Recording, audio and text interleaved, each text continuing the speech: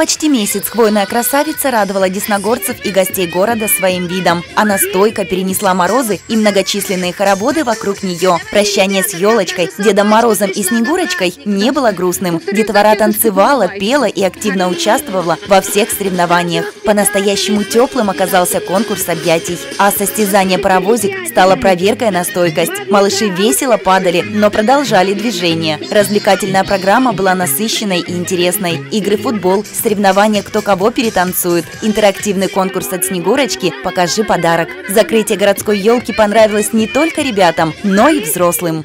Праздник нам очень понравился. Обязательно придем в следующем году на закрытие елочки. Спасибо, все было очень замечательно.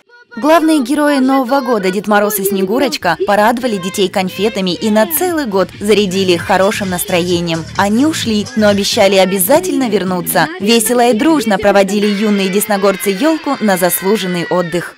Мне не грустно расставаться с елочкой, потому что мы нарядим ее еще в следующем году, и под елочкой будут подарки.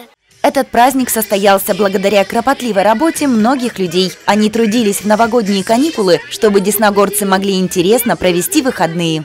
Спасибо большое Комитету по образованию, что предоставили нам деток.